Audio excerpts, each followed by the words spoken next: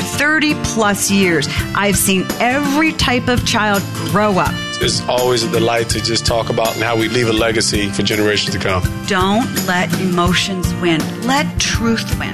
It's been able to change into a time of my life that I am grateful for. You moms and dads are wired with everything you need to be a parent to a great kid. Welcome to Parenting Great Kids. This is episode two Parenting Your Child's Inner World. I'm your host, Dr. Meg Meeker. Parents, this podcast exists for you. I want you to catch your breath. You know what? Close your eyes, as long as you're not driving, of course. Take a breath. And I want you to know this today. You are the most distinct possible parent your child could ever have. The fact that you are your child's parent is not an accident. I don't believe in accidents. I believe in providence. I don't believe in accidents. No other human being alive has your specific DNA, your ability to love your child like you do. No one. You are completely distinct and necessary. I want you to take that in, parents. I want you to just think about that. And I want to say something else that I don't think you're hearing enough, and that's this. Thank you for giving your vulnerability, your sincerity, your laughter and tears, your attention, your time, your sweat, your agony, even when you wanted to run away from that situation or from that child or from that fight or from that slam door or that screaming. Thank you for staying because kids grow and they change. Get that. Your legacy as a parent is all of those mundane moments where you thought life was boring and you're not getting through to that child. That's what makes your child a great adult. That's what makes him strong. Not the special moments, not the times when you spent a lot of money to do something. The mundane moments where you lived life next to your child, they actually matter. So, in this episode, I'm going to share with you something I am very passionate about. Your child has two worlds. This is very important for you to understand. You intuitively understand, but your child has two worlds. Each child has an external and an internal world. I'm going to talk to you about how to connect more with your child's inner world where his feelings, his character, his being, his spirit life lives and the inner world is not about what he does or performs. It's about who he is. I'm going to help you avoid the mania of performance, of doing, of going and going and going. It's exhausting, isn't it? But fear not. You can drop crazy and pick up healthy right away. I also had a chance to sit down with my good friend, radio talk show host, author, and speaker Dave Ramsey. Dave's the father of three adult children, and I had a blast talking with him about the inner world of our children. As usual, in this episode, I'm going to give you some points to ponder that you can act upon right away. And just a reminder don't just listen or download, click the subscribe button next to the title of this podcast. Tell your family and friends the same. I appreciate it. But it also helps you because when you subscribe, new episodes update automatically for you. Before I give you this episode's points to ponder, listen in on a conversation with my good friend and first official podcast guest, Dave Ramsey.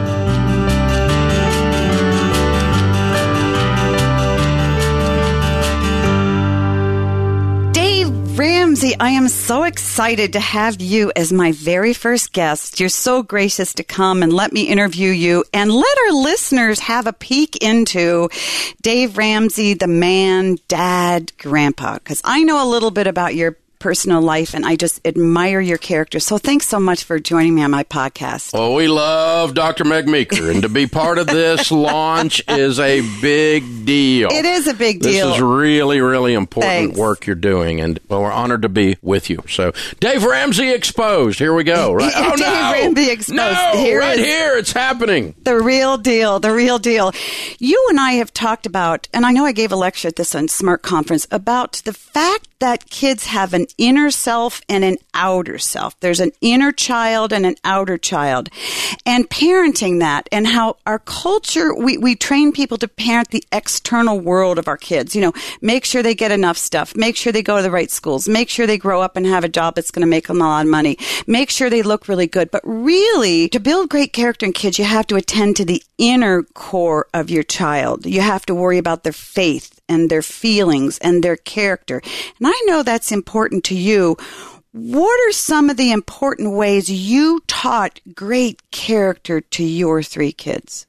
You know, I don't know that it was ever like Tuesday night is character building night. I mean, we didn't, you know, it was not like some kind of weird thing like that. It, stuff like we believe in hard work, yeah. believe in telling the truth, and you believe you're going to do something. You know, it's the sayings good grandmas used to have.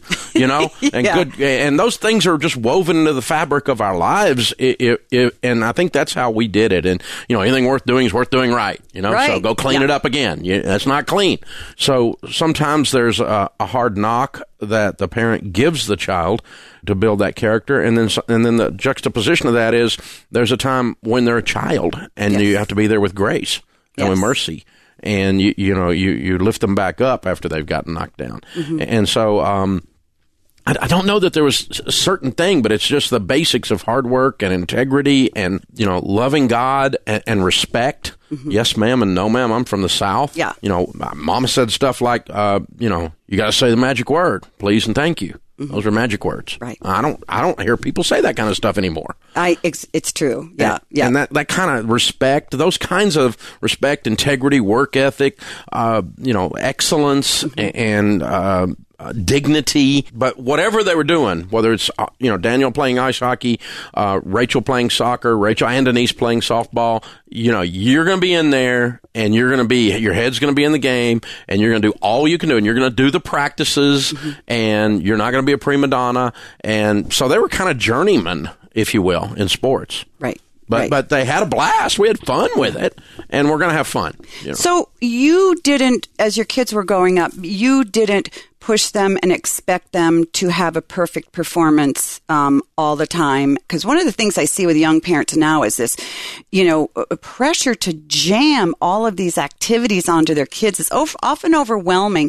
And I didn't feel that. Did you feel that when you were raising your kids? I, I didn't do it. I mean, there were people out there did it. We called them super parents. They were like uh, the ones that their kids had to play travel everything. Yeah. Sharon and I talked about it even when the kids were, I guess, early teens. It's like these some of those parents. It's like their identity is tied up in how good their kid is because they don't feel good enough about themselves. Right. And it's like, dude, I don't. How good? I'm, my my personal success is not whether my kid that's 11 years old scored a goal. Yeah. Jeez. clearly you've done something very, very well because you have three grown adults who are wonderful human beings and they all work for you. And if you don't have a great relationship with your father, you do not work in his company. So I think that says a lot. Were there times when your kids were growing up where you just blew it? Oh, all the time. What would you do if that happened? Apologize. You did. Yeah. Yeah. Do you remember any times that you would be willing to share where you really blew it? Maybe when they were teenagers with one of the girls or Daniel?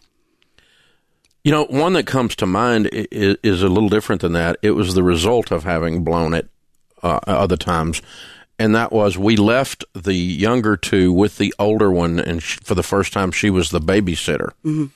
And when we came home, apparently we left this child who was 14 and a sweet little girl, but apparently when we left, uh, she became Genghis Khan.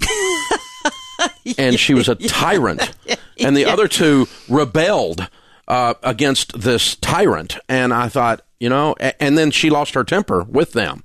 And I thought, and she's yelling and screaming at them, and because they wouldn't do what she said. And I thought, she's being her father. She was not replicating Sharon; she was replicating Dave. Yeah. And I said, baby, you, you know, this is a you, you don't want to live your life that way. Mm. And she and I got we went for a walk when we got home, and I said, you know, this is where your dad's let you down. You know, you picked up some bad habits. Uh, hopefully, there's some good ones in there that you picked up too. But kiddo, that's something you don't want to model after. Mm. And it wasn't that I was that way all the time. I wasn't, but I had been enough times Right. That that she- that, that it- that she as the oldest child the problem is everything gets broken in on them you know Exactly.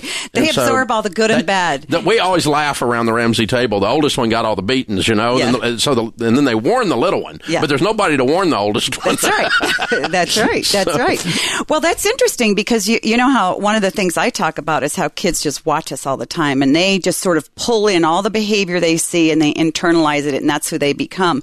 Did you change any of your behavior after that? I- met Christ the year Denise was born. And so I had been through the process of changing as she was growing up. Mm-hmm. So by the time we get to her at 14, what I was at the time I had that conversation was not what she experienced when she was 5 mm-hmm. And so I, I like to think to the large extent that the, what she was doing was she got some of her earlier dad that by the time we had this conversation was a better dad mm. and a better man. Mm. So I was, you know, growing up myself spiritually and learning. And so it wasn't like this snapshot in time. It was more like the end of the film strip, so to speak, yeah. if that makes any Yeah, sense. total Uh, sense, so I'm not saying by then I was perfect. I wasn't perfect, but I was a lot further along by any viewpoint. I was a lot further along by the time we had this conversation. But what she was replicating maybe wasn't the dad of that moment, but it was the dad of her youth, Mm-hmm. earlier youth. Has she um has she let that go by the by now that she's a grown up? She doesn't do that anymore. She is very patient with her kids, but I see her those wheels turning. Yeah. You know, I see her catch herself. She has to. We all do. I mean, she's got a two and a half year old. Yes, that's right. You know, in order for the, to let a two and a half year old live, you have to catch yourself. Yeah. You know. Oh, yeah, But, yeah, uh, yeah. I see her catching herself. Your faith is very important to you, and you talk about a lot in the air. And you know, my faith is very important to me, my faith in Christ. However, you can't make your kids have faith. Did you ever worry that they weren't going to have faith? I'm more worried how much crap they were going to go through because they go from our faith to some kind of a dip. They step off a cliff of some kind uh, to grab a hold of their own thing. And, and how deep is that hole that you got to fall in to grab your own thing? And some families go through that.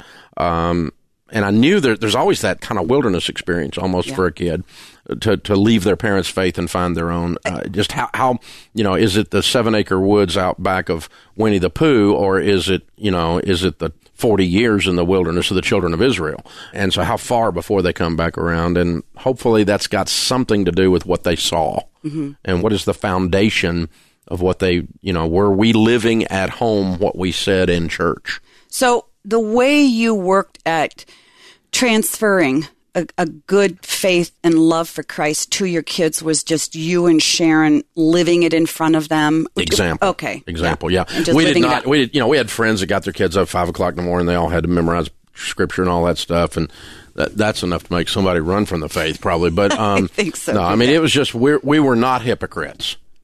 yeah. Period. That's who we were. Who we were in front of church people, in front of the pastor, and behind closed doors. Mm-hmm. We're just the same people all the time. I try to imagine what it would be like as a kid growing up in the Ramsey home, and and and, and, uh, you know, here you're, you're, you're really kind of an enigma because I think to the masses of the millions out there who know you and listen to you on the radio, they would think, you know, you're probably a very prideful man. You're probably a very hard driving man. You're highly disciplined, self disciplined.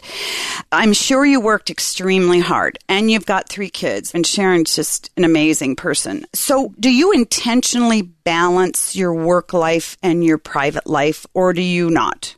No, and I think it's an illusion. The thing that that offsets that is when you're on something, be on that. And so, I heard Gary Smalley passed away the other day, and I heard him speak when we were just married, and him him and John Trent, and um, John talked about you know you wear a sword at work, and when you come home, you need to take that sword off and put it over the mantle. You can't use the same sword on your family that you use at work. Same tools don't work. And, and you need to shift gears and you need to be present where you are. So many people say, I want to spend time with my family, and they sit in front of the television. Right. That's or on just- their phone. Yeah. Yeah. Yeah. I want to spend yeah. time with my wife. And then they go on a date, and both of them are sitting across the table from each other with their thumbs going, looking Mm-hmm. at a screen. Uh, and so be where you are 100%, and it offsets all that stuff. Mm-hmm. So my, my kids, even when they were little, they knew when dad's at work, dad's at work. Yeah. Don't bother him. He's that's what he's doing. But when I was present with them at the game, I was all in at the game. They got your attention. I mean, I coached Daniel's ice hockey team for six years. now there's You know, something I learned. up. I never knew you you play ice hockey. Yeah, Well, sort of, but uh, enough to coach, coach it. enough to coach the little kids. But I was all in. You know, we don't do stuff halfway. So if we're if it's Sharon and me going on vacation together, just the two of us, that's it. Yeah. And if I'm gonna do emails, we're we both talk about it. Okay, let's sit here and do an hour of emails so we both feel better. Okay, good. You know, I, there was we started this thing. I was 16 hours a day for two years Yeah.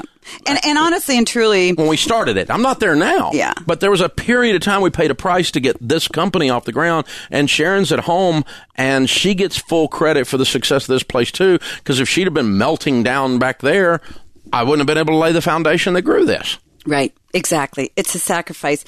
Dave, you have, and I have three beautiful, amazing grandkids. Perfect. Perfect grandkids. Yes. Yeah, if we'd have known how great grandkids are going to be, it'd have been nicer to their parents. It's the big payoff. Yeah. It's the big payoff. If you could choose one character quality to ensure that your grandkids have, what would it be? Integrity. Integrity. Now, integrity, the way our mutual friend Henry Cloud talks about it. When I say integrity, some people heard honesty, and that's only a small part of integrity. Integrity comes from the same word we get integer from. An integer, if you're a math nerd, is any whole number, not fractured. Integrity means you're not a hypocrite. You're the same person at home you are at work. Uh, integrity means that, that there's a wholeness to you. So that that word, in other words, the way I'm using it, would pick up a lot of spiritual things. Mm-hmm. It would pick up a lot of work ethic things. It would pick up in its wake a, a lot of compassion and generosity. It would pick up uh, a lot of gratitude and those other kinds of character qualities we want to see. They'd be sucked into the the gravitational pull of the kind of integrity I'm talking about, which is a wholeness. Is this person whole, mm-hmm. or are they fractured? Mm-hmm. There are a lot of fractured kids out there. And I mean, I think they're going to be, our grandkids are going to be growing up amongst a lot of kids who don't have integrity. And um, how would you intend to teach that to them? your first lesson usually uh, when they're little is the lying because they'll lie and um, we just have a low tolerance for that and so we start talking about that because And they do, they start lying early. oh it's Two and three and four. Yeah. but and see that's the for me I, i'm no parenting development expert or anything like that but for me lying to others is the setup to lying to yourself Yeah. and to allowing the devil to lie to you. And you start believing lies Mm-hmm. about others. And, and then you've got a fractured mess on your hands Mm-hmm. uh, because you can't see truth because you're not living truth. Mm-hmm. And don't be somebody in front of this friend that you're not in front of that friend. And don't be somebody in front of your grandmother that you're not in front of me. I mean, we're the same person all, Mm-hmm. all the time. Right. And We then ma- of course of course you have to teach it and then you have to live it in front of it. One of the things that I hear a lot from parents is um, a parenting philosophy now is that you explain things to kids and then by explaining what are the right and wrong choices, the child will come to the conclusion that it's good to make the right choice. horse crap. I, I knew I myself you're kidding. No. People really Yes, believe that? yes. And that's very, very common. Well, I mean, that's like pitching a kid the keys to the car and go try it out, kiddo. right. No instruction at all. Right. Oh my gosh. But, but but but the whole thing is that kids fundamentally don't have the ability to No. always choose the Nobody's ever taught them. no. It's not like it's like it's hardwired right and wrong. and it's that's, not that's it's, so it's not ridiculous. intuitive. No, it's not intuitive. It's intuitive. not intuitive, and they have to be trained into a life of integrity and trained into a life of speaking truth because they don't choose it. and trained into discipline. Yeah, Yeah. No Yeah. discipline seems pleasant at a time at the time, but it yields Yeah. A harvest of righteousness, and that applies to adults too. I have to be trained to sell. I don't know how to sell you. It's a it's a skill. You had to be trained to be a doctor. You know, you, they weren't. You know, they didn't go. Oh, look, it's a pediatrician. No, they said, look, it's a little girl. You know, I mean, right. that's you know, and I and that's it's such an important point for young parents to hear is that many parents think, well, discipline is so mean and cruel and everything. You know, it really isn't because if you're going to be successful at anything in your life, relationships, work, you and I right now have to live lives of tremendous discipline to keep doing what we're doing. And you have to teach that to young children. And I think one of the best places to start is teaching them, you know, how to be truthful, but nurturing a character quality of integrity is extremely important, much more important than worrying about the externals. My honored guest is Dave Ramsey. Everybody knows him. Um, I sure appreciate uh, your eloquent explanations of everything.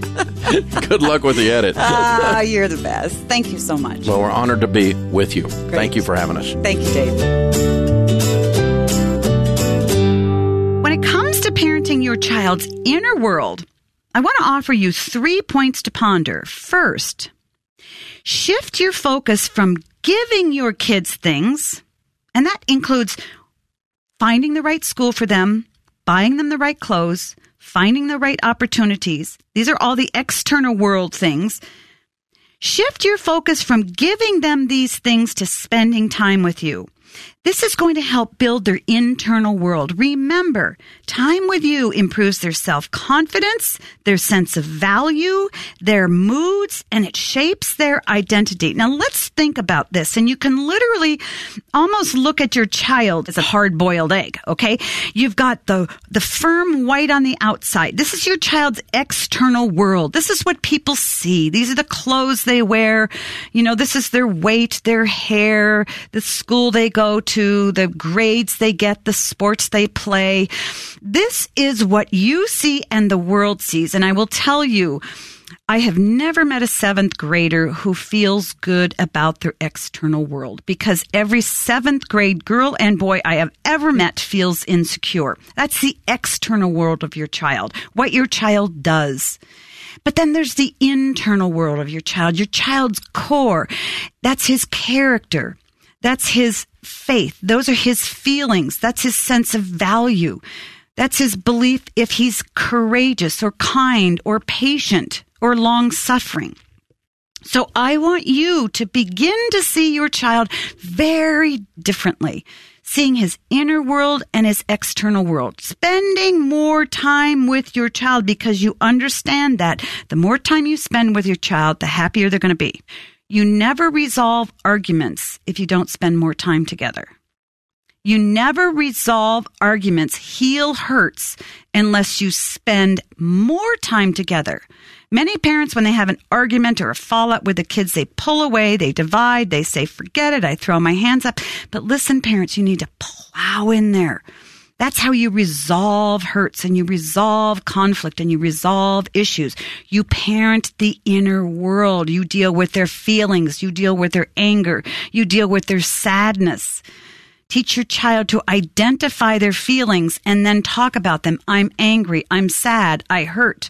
So stop talking about what your kids look like and what they're doing and start asking them what they think and what they feel. Second, Compliment your child's character traits. We focus so much on what clothes our kids wear, buying them the right shoes, finding them the right friends, getting them in the right school, helping them to play the right sports. Stop doing that. When you want to compliment your child or you want to build them up, never, ever, ever compliment them on how they look.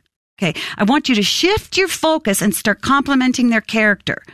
You can find great character traits in any child.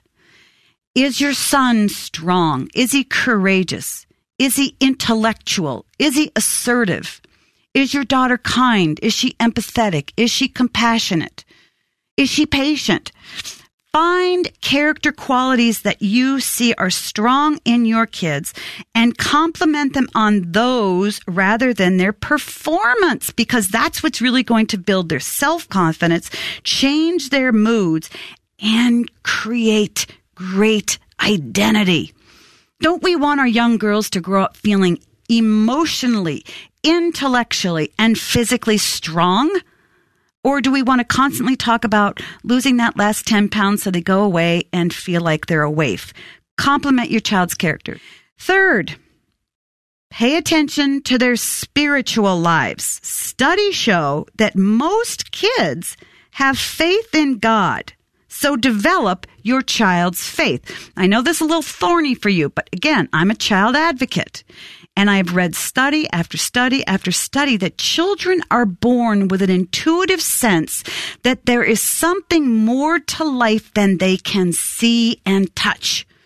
And as they get older, that is pounded out of them, not nurtured. Your children, I'll guarantee you, when they're five or six or eight or 10, are a whole lot more comfortable talking about God than you probably are. So if your child has that intuitive sense, what are you going to do with it? Are you going to grow it? Are you going to identify it? Are you going to build it? Are you going to talk to your kids about who you think God is and who you think He isn't? Are you going to talk to them about the Bible or are you going to tell them it's a bunch of nonsense? You owe it to your child. You have the right and the privilege to raise your child according to your biblical spiritual beliefs. Don't neglect that, parents. My job isn't to sit there and tell you what to say and how to say it. My job is to tell you every child has a spiritual inclination and you have an obligation to raise your child according to your spiritual and biblical beliefs because every child wants to know who God is. They want to know what he's like, and they want to know whether he's floating or whether he has long white hair, whether he's kind, whether he's good, whether he sits there with a big, huge, long ruler he's got to wrap him on the head. Many kids think that. Don't let your child grow up thinking that and believing that about God. So never, ever, ever neglect your child's spiritual world. These three points to ponder are first, shift your focus from gifts to time. Compliment character, not performance or looks, and pay attention to your child's spiritual life. All right, let's get social. I want to hear from you and interact with you. You can find me on Facebook, Instagram, and Twitter, or go to megmeekermd.com and click on the links. You can send me a question on Facebook or email it to askmeg at megmeekermd.com. Again, that's Ask Meg at megmeekermd.com. Here's a question from Jose, and his question is I feel pressured to sign my kids up for sports. What should I do? Jose, welcome to the 21st century where life for kids is all about sports, sports, sports, sports, sports. Doesn't it make you feel kind of crazy? I'm telling you, many of my patients talk about the fact that they want to help their teenagers avoid caving to peer pressure. I totally get it. You know why? Because I think parents, we feel more peer pressure than our kids do. We feel the need to parent our children the way our friends are parenting their children. Again, it's a crazy train thing. Why? Because if our friends have their kids in two or three sports per semester, we feel like a bad parent if our child's only in one. Or if our kids play only one sport per semester, we wonder what's wrong with us. Let me throw this question back to you, Jose. What do you want your kids to do?